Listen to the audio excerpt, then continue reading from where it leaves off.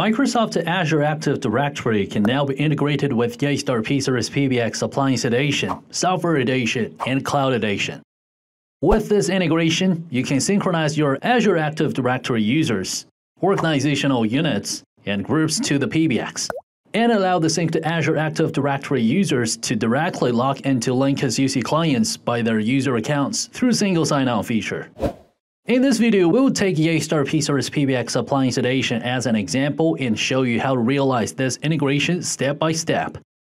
If you want to try out the integration, please apply for a free trial for our P-Series PBX from the link in the description and integrate it with the Azure Active Directory. Before anything, we need to make sure that we have an Azure Active Directory. Use a Microsoft Azure account with Global Administrator privilege to implement the integration. And for the PBX, we need to subscribe at listed to Enterprise Plan and have activated the FQDN. First, log into P-Series PBX Administrator interface and get the redirect URIs from the PBX. In the integration, find User Sync and SSO, and here we will see Microsoft 365. Now we need to fill in the Active Directory server info for the PBX. Click on the Integrate copy redirect URI, and Linkus web client SSO redirect URI for following steps.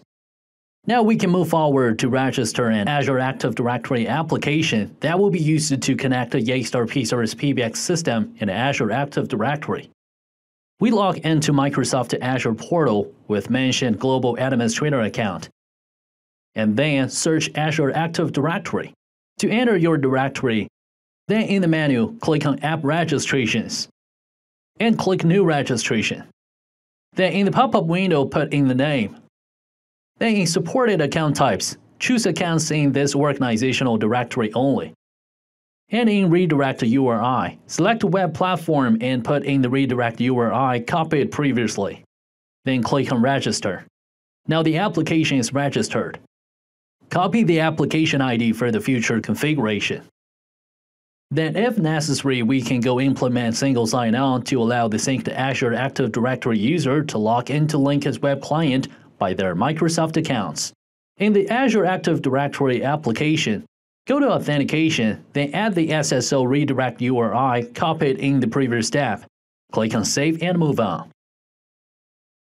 For the next step, we need to ensure the data access between Azure Active Directory and P-Series PBX by granting the required API application.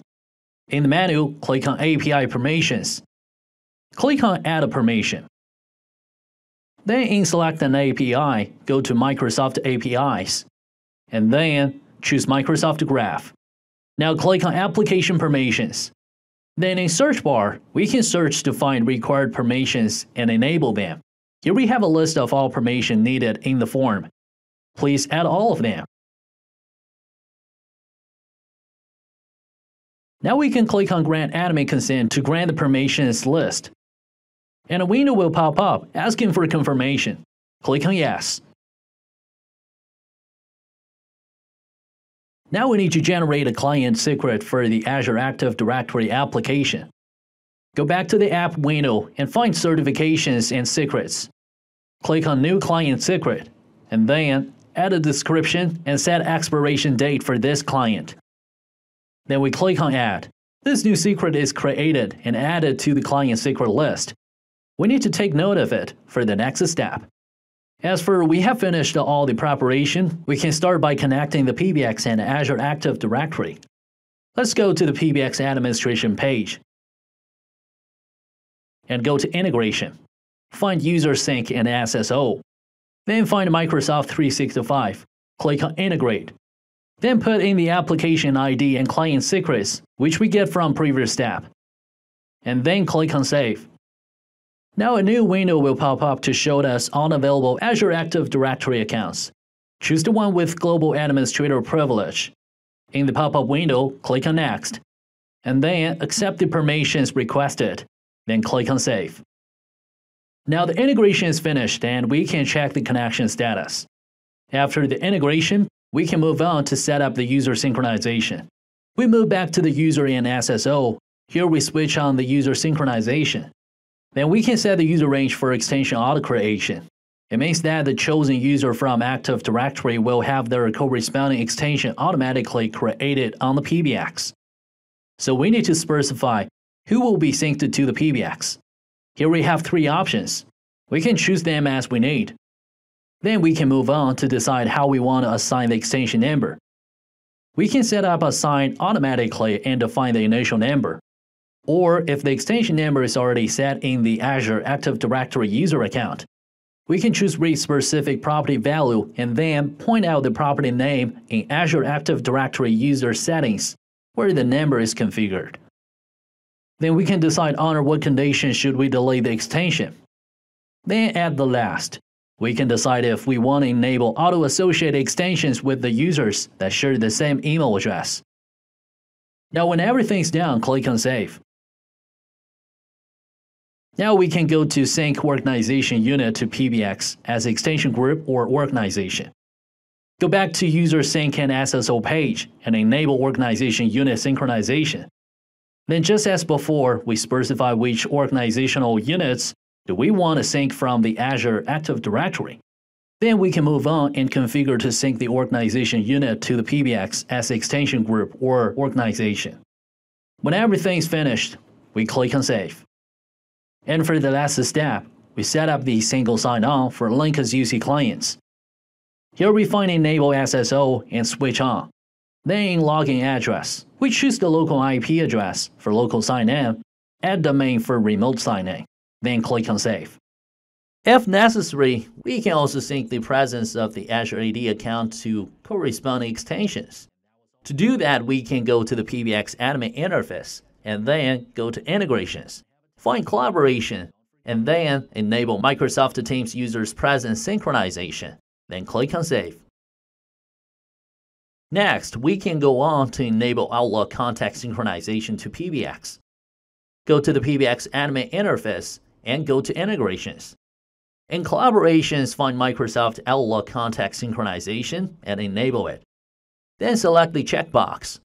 And in User Range, click on the drop-down button and select the range. Please ensure that the user's range selected here falls into the range you selected earlier for this integration. Then click on Save. Now, if needed, we can go on to share our contact with PBX as well. Here we log into the Outlook desktop client and click on People.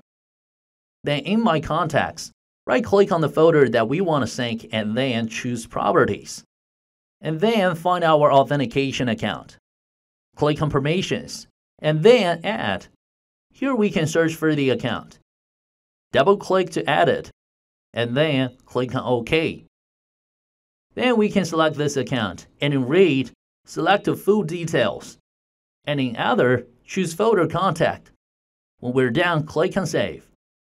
We can also synchronize contacts from Outlook shared mailboxes to PBX. To do it, we can go back to Microsoft Outlook contact synchronization and check shared mailbox contact synchronization. And we select the range like we did previously. And then specify to which contact book on our PBX we want to sync our Outlook contacts. Once we're done, click on Save. Now we can add the authentication account of Azure AD to the shared mailboxes. Go to the Microsoft 365 Admin Center and click on Teams and Groups. Then go to Shared Mailbox.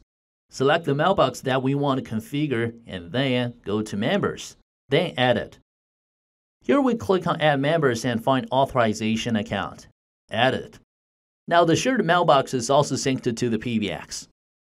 Alright guys, that was how we figured out the integration between Yeastar P-Series PBX and Microsoft Azure AD. Hope you guys like it. Need more details? Don't forget to visit yeastar.com and subscribe our channel